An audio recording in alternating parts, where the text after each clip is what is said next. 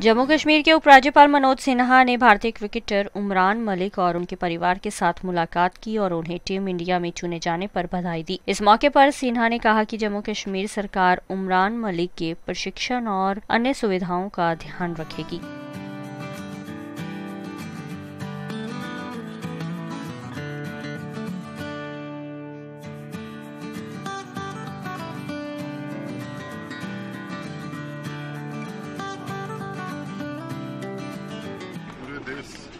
गर्व है।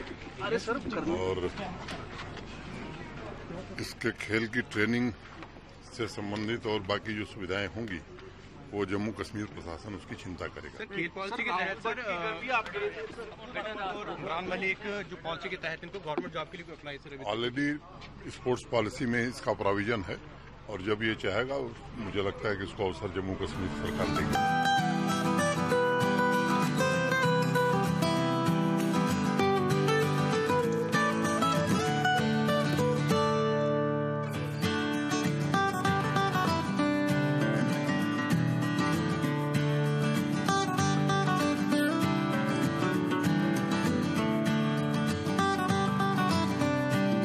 ਦੇਸ਼ ਦੁਨੀਆ ਦੀਆਂ ਤਾਜ਼ਾ ਖਬਰਾਂ ਦੇ ਲਈ ਹੁਣੇ ਪਲੇ ਸਟੋਰ ਤੋਂ ਡਾਊਨਲੋਡ ਕਰੋ ਪੰਜਾਬ ਦੀ ਆਵਾਜ਼, ਅਜੀਤ ਨਿਊਜ਼ ਐਪ।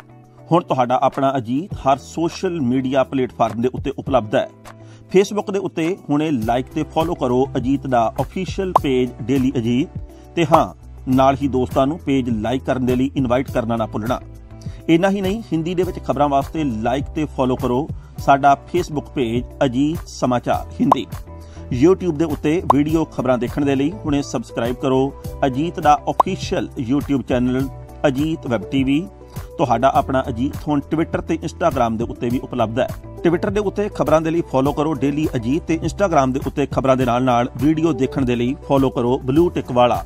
ਸਾਡਾ ਅਫੀਸ਼ੀਅਲ ਚੈਨਲ ਡੇਲੀ ਅਜੀਤ ਇਹਨਾਂ ਹੀ ਨਹੀਂ, ਅਜੀਤ ਦੇ ਵੀਡੀਓ ਹੁਣ ਤੁਸੀਂ Apple TV ਦੇ ਉੱਤੇ ਵੀ ਵੇਖ ਸਕਦੇ ਹੋ। ਤੇ ਨਾਲ ਹੀ ਅਜੀਤ ਅਖਬਾਰ ਦਾ ਡਿਜੀਟਲ ਐਡੀਸ਼ਨ ਪੜ੍ਹਨ ਦੇ ਲਈ ਡਾਊਨਲੋਡ ਕਰੋ ਅਜੀਤ ਈ-ਪੇਪਰ ਐਪ ਤੁਹਾਡਾ ਆਪਣਾ ਭਰੋਸੇਯੋਗ ਚੈਨਲ ਤੁਹਾਡੀ ਆਪਣੀ ਆਵਾਜ਼। ਪੰਜਾਬ ਦੀ ਆਵਾਜ਼, ਅਜੀਤ।